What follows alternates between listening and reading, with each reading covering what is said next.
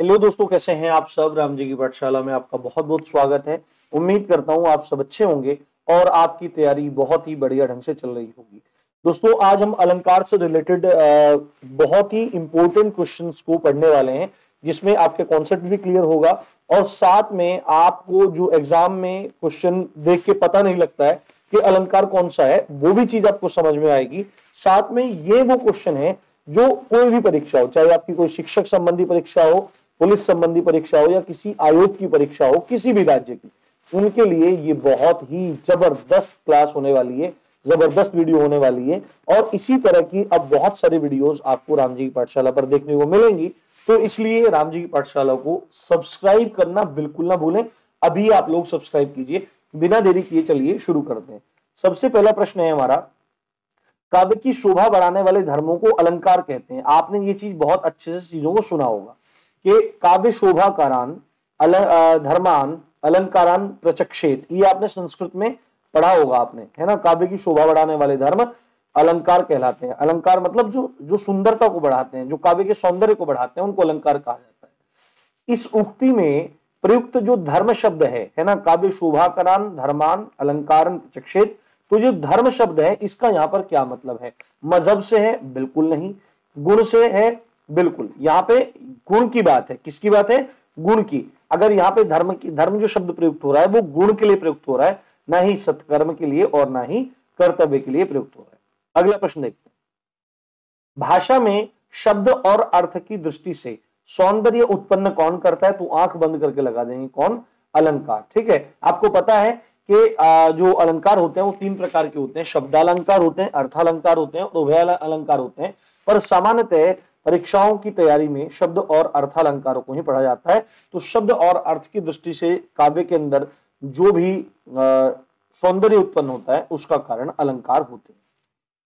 अगला प्रश्न है, अलंकारों की महत्ता के संबंध में इनमें से कौन सा कथन सही नहीं है?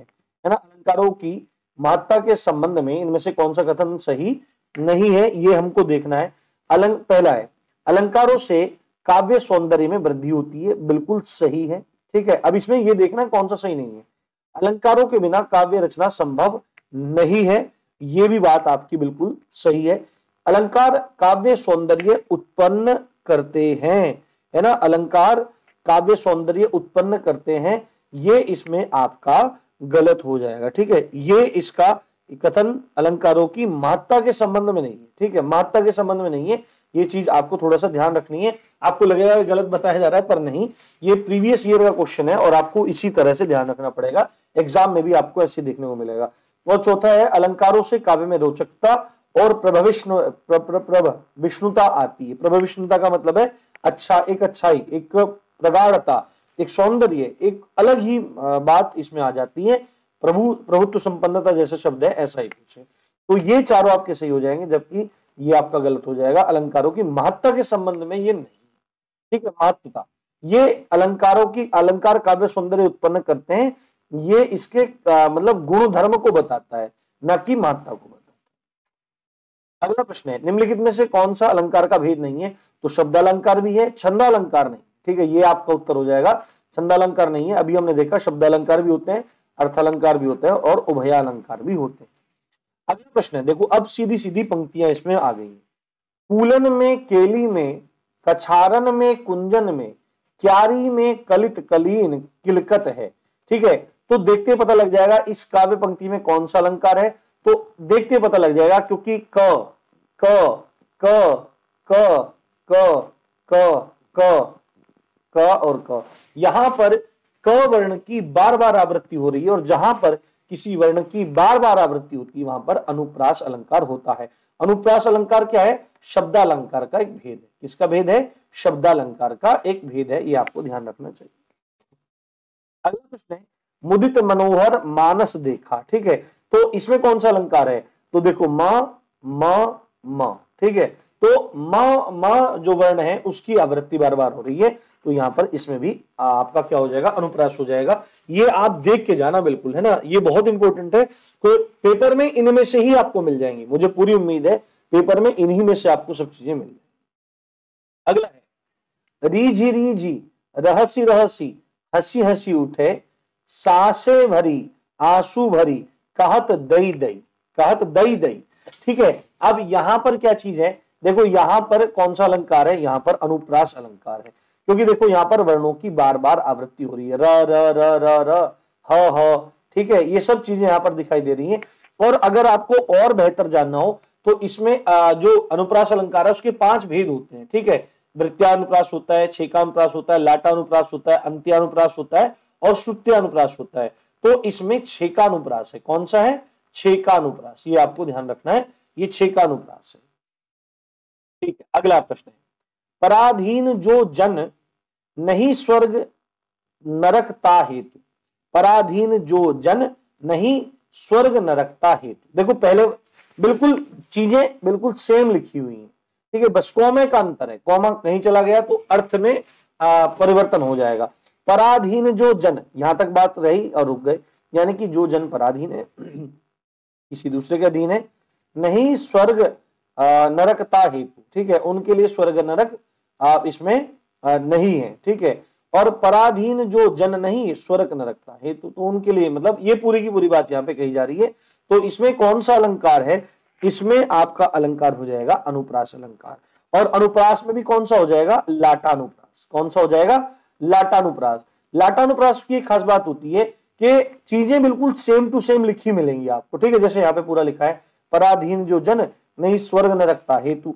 और पराधीन जो नहीं, स्वर्ग न रखता हेतु।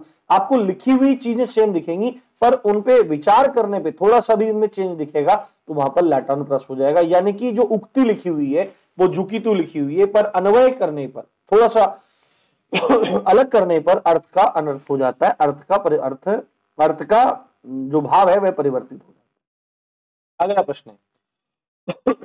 क्षमा चाहता हूँ, माइक थोड़ा गला पकड़ लेता है। दिए गए विकल्पों में से अनुप्रास अलंकार का उचित उदाहरण पहचानिए। ठीक है? तो सारंग ले सारंग चली, ये नहीं है। ठीक है? कानन कठिन भयंकर भारी, यही हो जाएगा।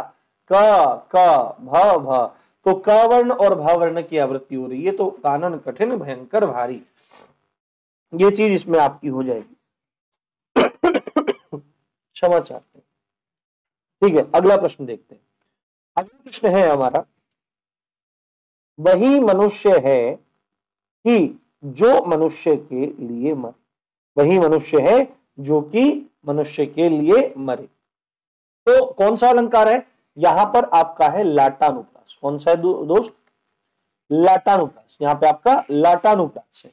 अब लाटानुप्रास का है, जहाँ पर किसी उक्ति की या शब्द की बार बार आवृत्ति हो रही है या शब्द की आवृत्ति एक से अधिक बार हो रही है तो वहाँ पर लाटानुप्रास होगा तो यहाँ पर आपका अनुप्रास अलंकार हो जाएगा। अगला प्रश्न है, राम हृदय जाके नहीं विपति सुमंगल ताही, और राम हृदय जाके नहीं विपति सुमंगल ताही। ठीक है, अब इसका मतलब समझो, राम हृदय जाके नहीं, यानी कि जिनके हृदय में राम जी नहीं है, विपत्ति सुमंगलता ही विपत्ति और मंगल, यानी सुख दुख उनके लिए है। ठीक है, और राम हृदय जाके नहीं विपत्ति सुमंगलता ही। जिनके हृदय में राम जी हैं, उनके लिए सुख और दुख की कोई महत्वता नहीं है। तो क्लियरली आपको पता होना चाहिए कौन सा है, ये लाटानुप्रास है। मैं भी बता के आया हूँ। आपको कौन, आपको सब चीज़ें समझ में भी आ रही होंगी। अगर उक्ति या शब्द जू के तू लिखे हुए हैं, पर उनके अर्थ में चिंतन करने पर अगर परिवर्तन आ जा रहा है, अन्वय के कारण अनुय परिवर्तन आ जा रहा है तो वहाँ पर लाटानुप्रास होगा, ये आपको ध्यान रखना अगला प्रश्न है, जननी तू जननी भई विधिसन कछु न बसाई। जननी तू, जननी भाई विधिसन कछु न बसाई। तो यहाँ पर देखो, जननी और जननी। यहाँ पर ये दो बार आ गया है तो यहाँ पर लाटानुप्रास। शब्द की आवृत्ति यहाँ पर हो रही है तो यहाँ पर आपका लाटानुप्रास हो जाएगा। अगला प्रश्न है, इन पंक्तियों में से कौन सा अलंकार है? इन पंक्तियों में से कौन सा अलंकार है? अच्छा एक बात बता देता हूँ, आज की वीडियो में केवल हम पचास क्वेश्चन कवर करें क्योंकि फिर वीडियो बहुत ही ज़्यादा लंबा हो जाएगा। ठीक है? तो ज़्यादा लंबा वीडियो अपने को डालना नहीं है, ये फ़र्स्ट पार्ट है, इसके बाद एक सेकंड पार्ट हम लोग अपलोड करेंगे। चारु चंद्र की चंचल किरणें खेल रही थी जलथल में, खेल रही हैं जलथल में तो चारु चंद्र की चंचल किरणें तो च च च, ठीक है तो कौन सा हो जाएगा आपका? अनुप्रास अलंकार हो जाएगा। अगला प्रश्न है, इनमें से जो अनुप्रास अलंकार का लक्षण ना हो, उसे छाटिए। तो अनुप्रास अलंकार के लक्षण को छांटते हैं, इनमें से जो नहीं है वो निकाल। शब्द। शब्द के प्रारंभ अथवा अंत में वर्णों की आवृत्ति। बिल्कुल सही बात है, ऐसा होता है। प्रारंभ में, अंत में वर्णों की वर्णों की आवृत्ति रहती है। आपको पता है, श्रुत्यानुप्रास भी होता है। श्रुत्या, वो अंत्यानुप्रास। अंत्यानुप्रास में तुक देखा जाता है। तो अंत में भी अगर आवृत्ति हो जाती है, सब चीज़ हो जाती है तो वहाँ पर क्या हो जाता है? आपका अनुप्रास अलंकार हो जाता है। एक या अनेक वर्णों की क्रमानुसार आवृत्ति। बिल्कुल सही है। पंक्ति की संपूर्णतया आवृत्ति, ये नहीं होगा। पंक्ति की संपूर्णतया आवृत्ति नहीं होगा, ये चीज़ आपको ध्यान रखना है। और एक ही उच्चारण स्थान से बोले जाने वाले वर्णों की आवृत्ति, ये भी आपका इसके लक्षणों में आ जाएगा, ये आपको ध्यान रखना है। अगला प्रश्न है, वर्णों की एक से अधिक बार आवृत्ति किस अलंकार में होती है? तो आँख बंद करके क्या लगाना है? अनुप्रास अलंकार। अगला है प्रश्न, सो सुख सुजस मोही स्वामी। सो सुख सुजस सुलभ मोही स्वामी। यहाँ पे तो वो हो रहा है सो सुख सुलभ सुजस मोही स्वामी। कौन सा है? देखते ही पता लग जाएगा। अनुप्रास अलंकार है, क्योंकि स स स स, ठीक है, स वर्ण की आवृत्ति हो रही है तो अनुप्रास अलंकार अगला प्रश्न है, ठीक है, देखते हैं आप कौन बताएगा। माला फेरत जुग भया, फिरा न मन का फेर, और कर का मन का डार दे, मन का मन का फेर। मन का मन का फेर कौन सा अलंकार है? तो देखते ही पता लग जाएगा, यमक अलंकार है। यमक अलंकार एक्चुअली में क्या है? आपके शब्दालंकार का ही एक भेद है और यहाँ पर एक ही शब्द बार बार आता है, एक ही शब्द। यमक अलंकार में क्या होता है? एक ही शब्द की आवृत्ति होती है। शब्द की आवृत्ति बार बार होती है। शब्द की आवृत्ति बार बार होती है और उस शब्द की आवृत्ति के बार बार होने के बाद प्रत्येक बार प्रत्येक बार शब्द के भिन्न अर्थ निकलते हैं। जैसे कि यहाँ पे क्या चीज़ है? ये वाला, कि माला फेरत जुग भया और फिराना मन का फेर, है ना? फिराना मन का फेर, ठीक है? कर का मन का डार दे, मन का मन का फेर। तो एक शब्द तो यहाँ पर आ गया मन का और दूसरा यहाँ पे आ गया मन का। तो शब्द तो एक है, परंतु अर्थ भिन्न भिन्न हो रहा है। कैसे? कर का मन का, यानी कि हाथ में जो माला होती है जो माला होती है, ऐसे उसमें मन के होते हैं ना, पूरे दाने होते हैं। तो कर का मन का तो पहले वाले मन के का अर्थ है माला का मोती। और मन का मन का फेर, यानी कि मन रूपी माला का मन का ये यहाँ पर भाव दिया जा रहा है। तो जो मन का शब्द है, यहाँ पर दोनों के भिन्न अर्थ हो रहे हैं, इसलिए यहाँ पर आपका यमक अलंकार है। ठीक है, अब अगले प्रश्न की तरफ़ बढ़ते हैं। अगला प्रश्न है, दिए गए वाक्य में प्रयुक्त अलंकार के भेद का चयन दिए गए विकल्प में से करें। ठीक है, यानी कि पूरा का पूरा एग्ज़ाम्पल आपको दे दिया है। ठीक है एग्ज़ाम्पल आपको दे दिया है। एग्ज़ाम्पल देने के बाद आपसे पूछा जा रहा है कि भाई इसमें क्या अर्थ इसका निकलेगा? तो ऊँचे घोर मंदिर के अंदर रहन वाली, ऊँचे घोर मंदिर के अंदर रहाती है। ठीक है, ऊँचे घोर मंदिर के अंदर रहन वाली, ऊँचे घोर मंदिर के अंदर रहाती तो ऊँचे घोर मंदिर, देखो यहाँ पर ये तीन शब्द मतलब बहुत सारे शब्द यहाँ पर निकल के आ रहे हैं। पर यहाँ पर जो मुख्य शब्द है वो मंदिर है। क्या है? मंदर। मंदिर। ये पार्वती जी के संदर्भ में बात की गई है क्योंकि पार्वती जी की मान, आ, के बारे में मान्यता है। या मान्यता नहीं है बिल्कुल मतलब सच ही है। कि पार्वती जी हिमालय की पुत्री हैं और उनका विवाह किनसे हुआ है? भगवान शंकर से उनका विवाह हुआ है। तो पहले तो क्या था कि ऊँचे घोर मंदिर के अंदर रहने वाली यानी कि ऊँचे ऊँचे महल में रहने वाली, महलों में रहने वाली, है ना? पहले का अर्थ है महल, पहले का अर्थ है महल। और ऊँचे घोर मंदिर के अंदर रहती है। तो अब कहा रह रही है? पहले तो महलों में रहती थी। अब भगवान शंकर के साथ ब्याह हो गया तो ऊँचे घोर मंदिर के अंदर, घोर मंदिरों में, यानी कि अब गुफाओं में रहती है। तो अभी यहाँ पर कौन सा अलंकार हो जाएगा आपका? यमक अलंकार इसमें हो जाएगा। अगला प्रश्न है, सजना है मुझे, सजना के लिए। तो यहाँ पर देखो क्या चीज़ है, सजना और सजना। अब शब्द बिल्कुल एक है, पर इनका अर्थ अलग अलग हो जाएगा। तो यमक अलंकार इसमें है। पहले सजना का है, सजना मतलब श्रृंगार करने संबंध है। और दूसरा का है, पति से। किसके लिए? पति के लिए पहले का है, श्रृंगार। तो दोनों का भिन्न अर्थ यहाँ पर निकल कर आए अगला है हमारा, तरणी के ही संग। तरल तरंग में, तरणी डूबी थी, हमारी ताल में। तरणी तो यहाँ पर जो शब्द है वो तरणी है। तरणी एक और तरणी दो। अब शब्द बिल्कुल एक जैसा दिखाई दे रहा है हमको पता है क्या है? यमक अलंकार है। आप ऐसे भी याद रख सकते हैं ठीक है? तरणी के ही संग तरल तरंग तरल तरंग में तरणी डूबी थी हमारी ताल में। तो पहला जो तर, तरणी है ठीक है? पहला जो तरणी है उसका है क्या? अर्थ सूर्य से। किससे है?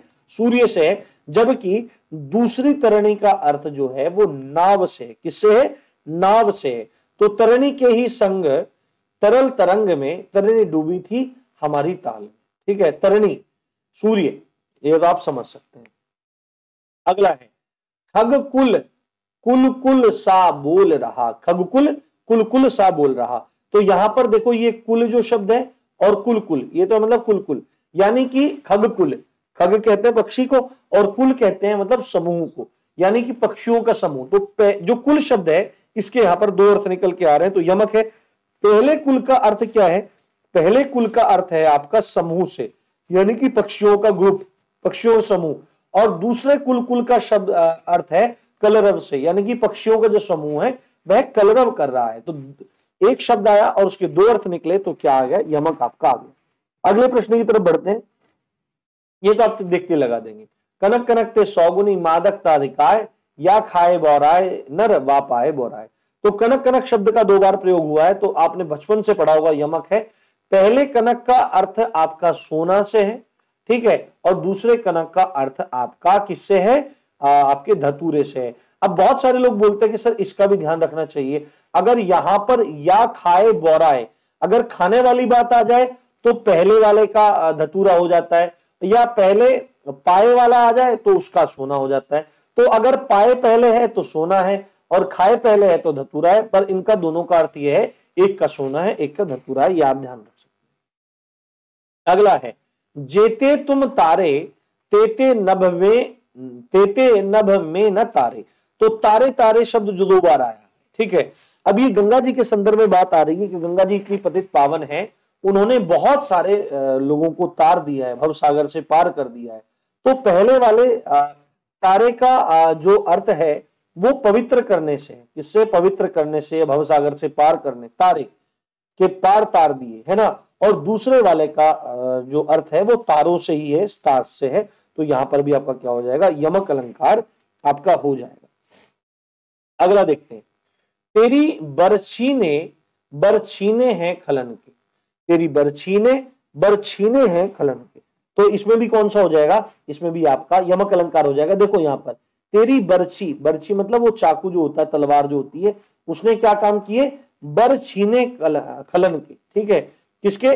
के दूसरे जो मतलब हैं, उनसे जो बर हैं, ठीक है? बर है, इसका ये है पति तो खली, जो खलन है, जो दुष्ट लोग हैं, उनके बरों को छीन लिया है। ये है तो बरछी और बर्ची तो यहाँ पर चाकू से अर्थ है इसका और दूसरा इसका अर्थ है पति से।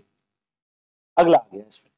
देखो आ गया, सूर सूर तुलसी शशि उड़गन केशव दास, अब के कवि खद्योत सम जहता करत प्रकाश। तो खद्योत कहते हैं जुगनू को, ठीक है? तो यहाँ पर क्या कहा, देखो यहाँ पर दो बार शब्द का प्रयोग हो रहा है, सूर सूर, तुलसी शशि यानी कि ये जो पहला वाला सूर है, ये सूरदास जी के बारे में, किसके बारे में? ये सूरदास जी को अभिव्यक्त कर रहा है जबकि दूसरा सूर सूर्य को दिखा रहा है। तो सूर सूर तुलसी शशि यानी कि सूर जो है वो सूर्य है, तुलसी शशि है तो शशि किसको कहते हैं? चंद्रमा को।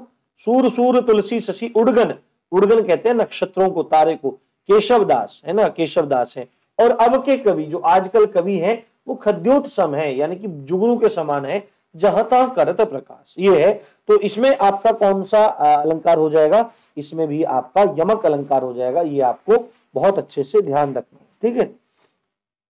आगे बढ़ते ये आ गया। तीन बेर खाती थी वो, तीन बेर खाती है। ठीक है? तो तीन बेर। यहाँ पर जो तीन बेर है, ये दो बार आया है। ठीक है? तीन बेर। ये सब इंपोर्टेंट चीज़ें आपकी हो रही है। यहीं से आपको सभी प्रश्न मिल जाएँगे।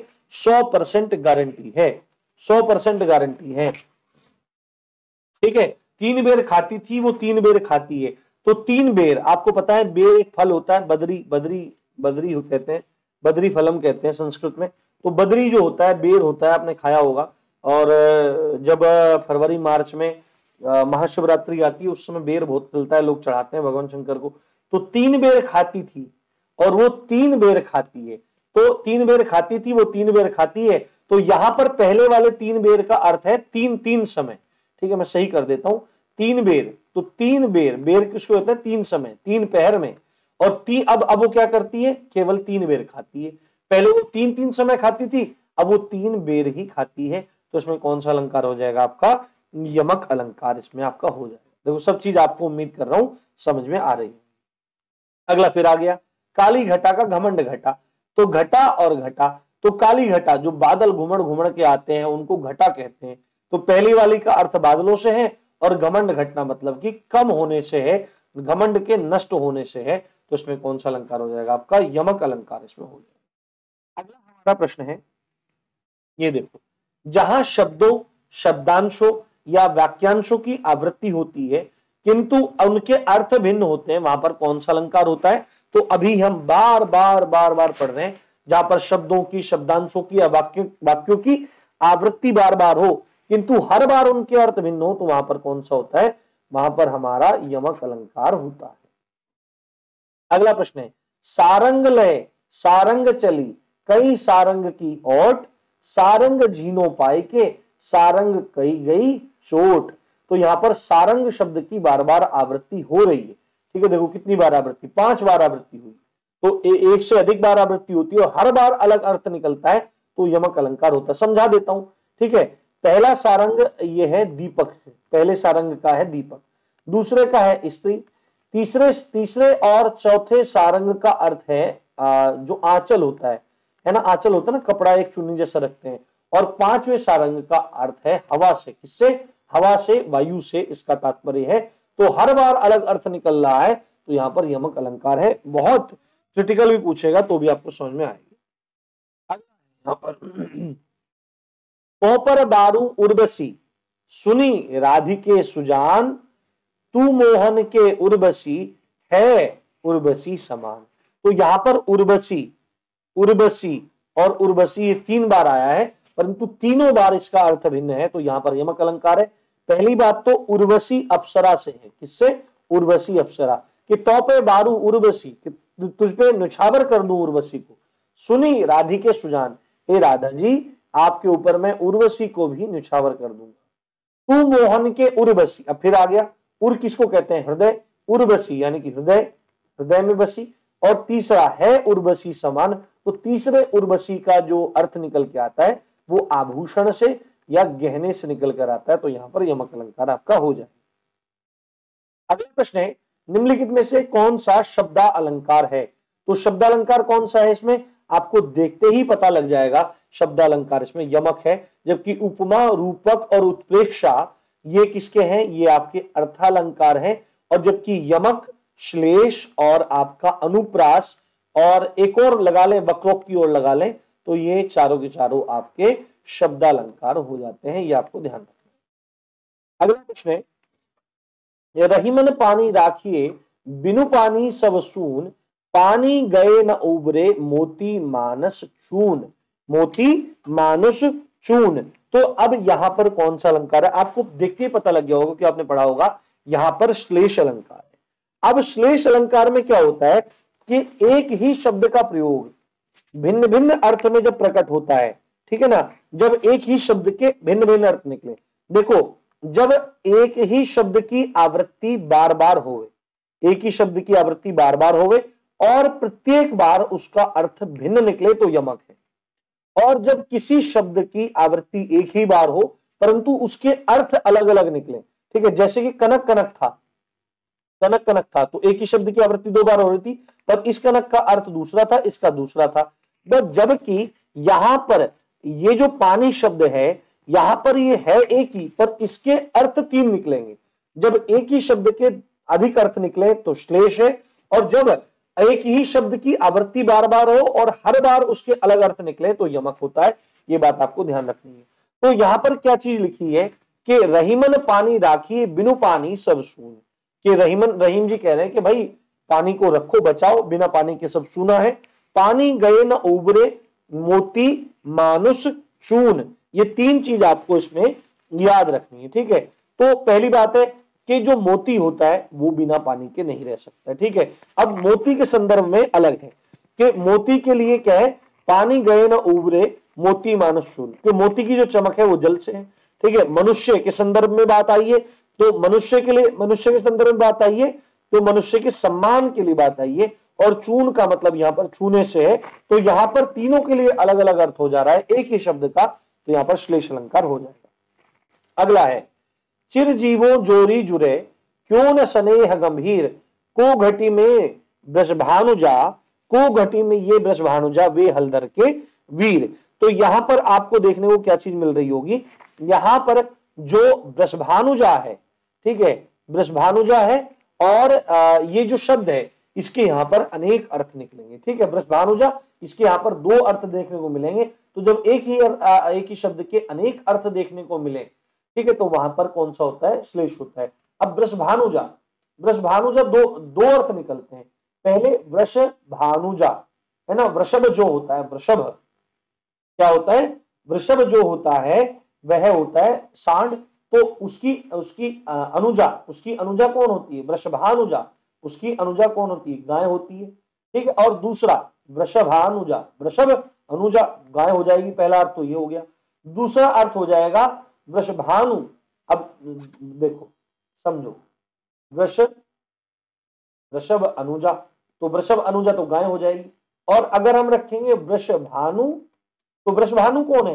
राधा जी के पिताजी। और वृषभानु में जा लगा देंगे। ज लग जाता है तो पुत्र हो जाता है, जा लग जाता है तो पुत्री हो जाता है। दूसरा अर्थ निकला इसका राधा जी तो चिर जीवो जोरी जुरे क्यों न स्नेह गंभीर, को घटिए वृषभानुजा वे हलदर के वीर। आप सीधे लगा देंगे श्लेष अलंकार। अगला है, श्लेष अलंकार क्या होता है? तो सीधे आपको पता होना चाहिए शब्द अलंकार होता है, श्लेष अलंकार, ये चीज़ आपको समझ अगला प्रश्न है, मेरी भव बाधा हरो, राधा नागरी सोय, जातन की झाई परे श्याम हरित दुति होए मेरी भव बाधा हरो, है ना? मेरी भव बाधा हरो, राधा नागरी सोय, जातन की झाई परे श्याम हरिद्युति हो ये किसका दोहा है? ये बिहारी का बहुत प्रसिद्ध दोहा है, क्योंकि नागरता दिखाई दे रही है। नागरता आपके किस काल में दिखाई दी? रीति काल में, श्रृंगार काल में दिखाई दी। तो अगर इसका उत्तर आपसे पूछा जाए, ये आपकी टेट की परीक्षा में पूछा गया था 2018 में। तो इसके दो उत्तर सही है। यमक अलंकार भी सही है और आपका श्लेष अलंकार भी इसमें सही है। ये चीज़ आपको ध्यान रखनी है, ठीक है? अब इसमें इसमें समझने वाली बात क्या है कि इसमें श्लेष भी है वो भी है। तो इस दोहे में जो श्याम है, जिस दोहे में जो श्याम शब्द प्रयोग हो रहा है, ये वाला, एक मिनट में थोड़ा साफ़ करता हूँ जिससे आपको क्लियरली सब चीज़ें दिखाई दे। इसमें जो श्याम है, इसके दो अर्थ निकलते हैं, ठीक है? इसके दो अर्थ निकलते हैं। तो श्याम शब्द के दो अर्थ निकल रहे हैं तो इस कारण से इसमें क्या हो जाएगा? श्लेष अलंकार हो जाएगा। श्याम श्याम का एक अर्थ तो भगवान कृष्ण से है और दूसरा अर्थ निकलता है सांवला से। किससे निकलता है? सांवला से निकलता है। तो जहाँ पर एक ही शब्द के दो अर्थ निकले, वहाँ पर क्या होता है? वहाँ पर श्लेष अलंकार होता है। और जबकि इसमें बात की जाए आपकी, किससे? सॉरी इसमें एक एक तो है आपका श्लेष, एक है आपका रूपक। मेरे दिमाग से निकल गया एकदम। दूसरा है आपका रूपक। रूपक अलंकार में क्या होता है? रूपक अलंकार में भेद रहित आरोप होता है। यानी कि बिल्कुल उन्हीं को मान लिया जाता है। ठीक है? उन्हीं को बिल्कुल इसमें मान लिया जाता है। तो इसमें इसमें आपका रूपक अलंकार भी है, ये चीज़ आपको ध्यान रखनी है, बहुत ज़रूरी। ठीक है, चलो, आगे बढ़ते अगला प्रश्न है, जिस काव्य पंक्ति में प्रयुक्त किसी एक ही शब्द के एक से अधिक अर्थ हो, वहाँ पर क्या होता है? एक ही शब्द के एक से अधिक अर्थ होते हैं तो आँख बंद करके क्या लगाते हैं वहाँ पर? श्लेष अलंकार को लगाते हैं। अगला प्रश्न है, रावण सिर सरोज बनचारी चली रघुवीर सील मुख धारी। तो सील मुख में कौन सा अलंकार है? सील मुख सील मुख में कौन सा अलंकार है? ये बहुत बहुत ज़्यादा इंपॉर्टेंट है।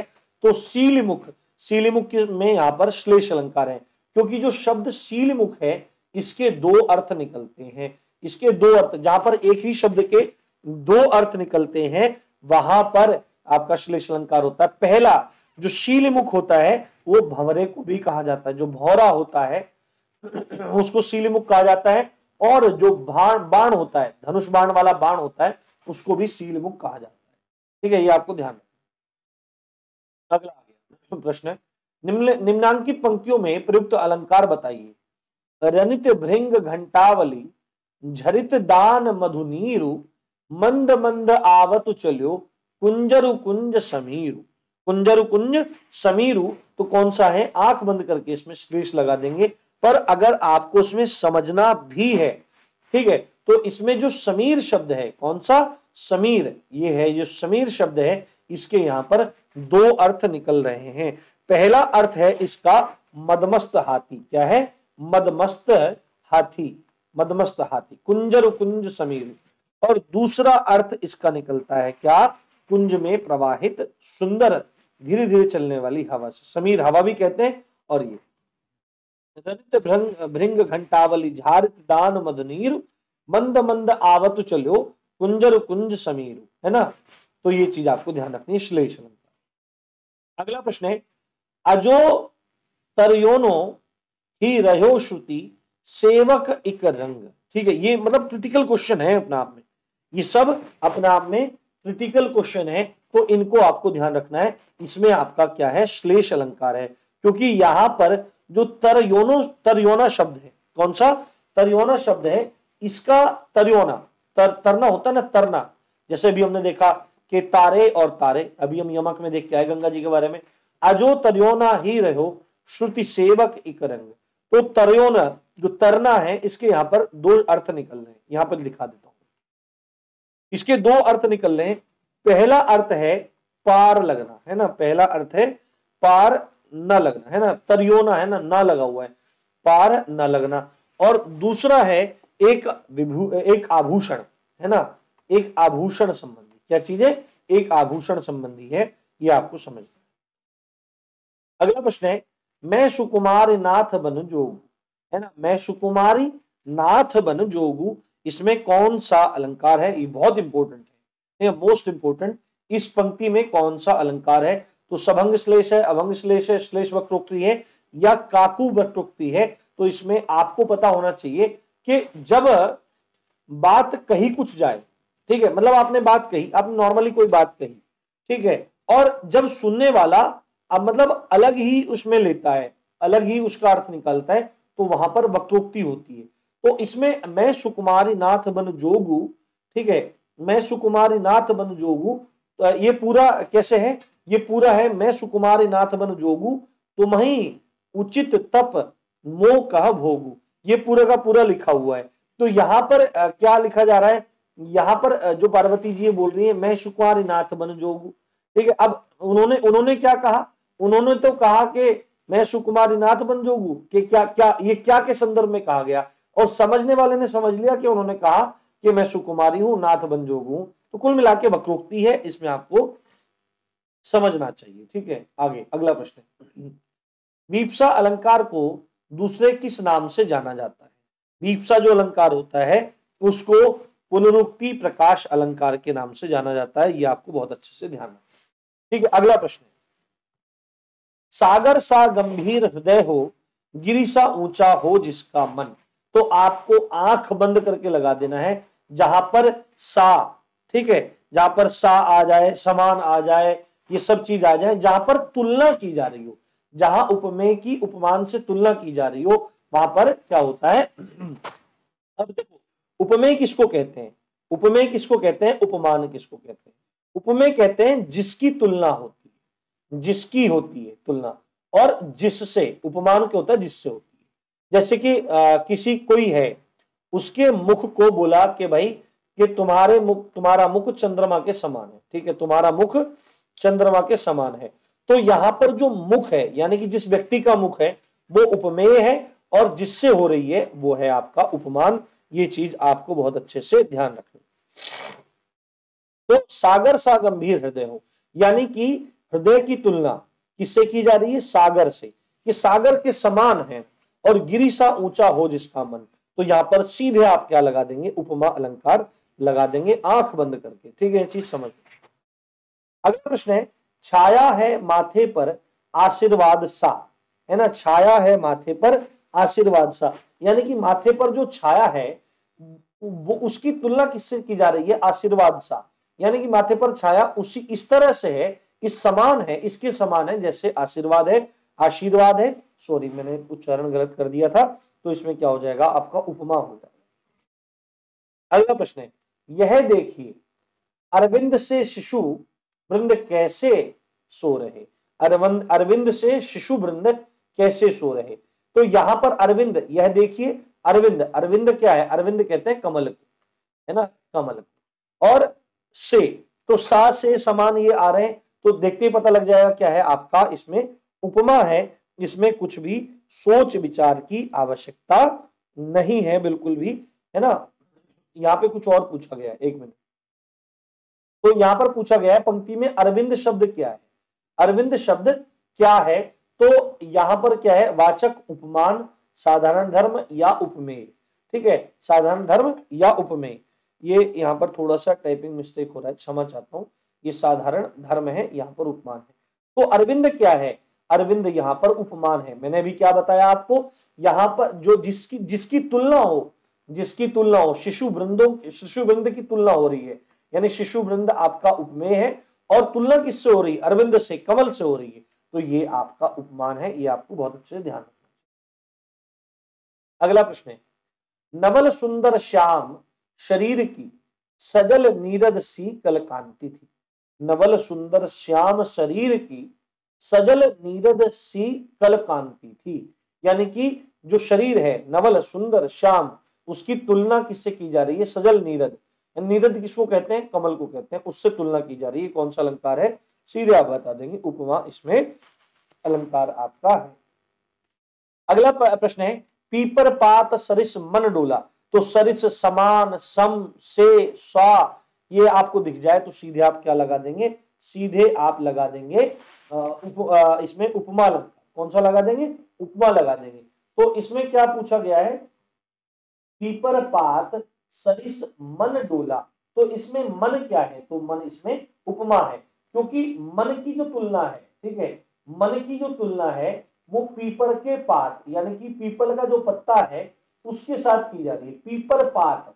तो पीपर पात क्या है? पीपर पात है उपमान। क्योंकि पीपर पात से तुलना की जा रही है किसकी? मन की। तो मन उपमेय और पीपर पात उपमान हो जाएगा। ये चीज़ आपको ध्यान रखनी है। वाचक शब्द कौन से होते हैं? तो सा से समान ये होते हैं, ये होता है। ठीक है?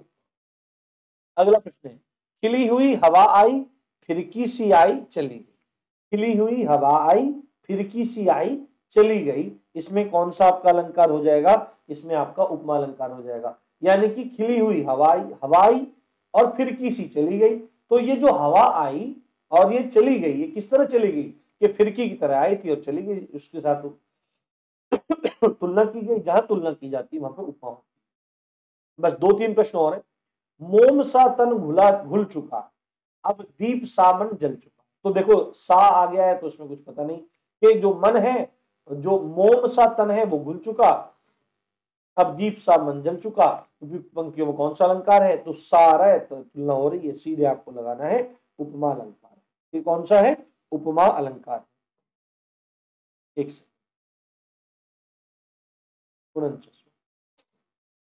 हरिपद कोमल कमल से, ठीक है? हरिपद कोमल कमल से, ठीक है? अब देखो यहाँ पर चारों चीज़ें दिखाई दी हरिपद, यानी कि भगवान के छत्र ठीक है? कोमल, यानी कि साधारण धर्म, यानी कि जिस आधार पे तुलना की जा रही है, कमल से। तो कमल कमल होता है, से क्या हो गया वाचक शब्द हो गया। तो सीधे कौन सा हुआ? उपमा हो गया। क्या हो गया? उपमा। के हरिपद हरिपदों की, भगवान के चरणों की जो तुलना है, वो कमल से की जा रही है। तो यहाँ पर आपका उपमा अलंकार हो गया। और लास्ट प्रश्न है उपमा अलंकार में उप का अभी ठंड भी हो रही है ना, थोड़ी खांसी भी। उपमा अलंकार में उप का अर्थ क्या है? तो ये आपसे पूछ सकता है, उपमा अलंकार में उप का अर्थ है आपका समीप। क्या होता है? ठीक है, पाँच के पचास प्रश्न हमने कर दिए। अगली क्लास में लगभग पचास साठ प्रश्न और बच जाएँगे। पचास पचपन प्रश्न और है तो वो सब कर देंगे। अगर आपने ये क्लास देख ली है तो उम्मीद करता हूँ आपको अच्छी लगी होगी। अपने दोस्तों के साथ शेयर करना ना भूलिए और चैनल को सब्सक्राइब करना ना भूलिए। इसी अच्छी बात के साथ आप देख रहे थे राम जी की पाठशाला। मैं हूँ राम भारद्वाज। जय हिंद, जय भारत।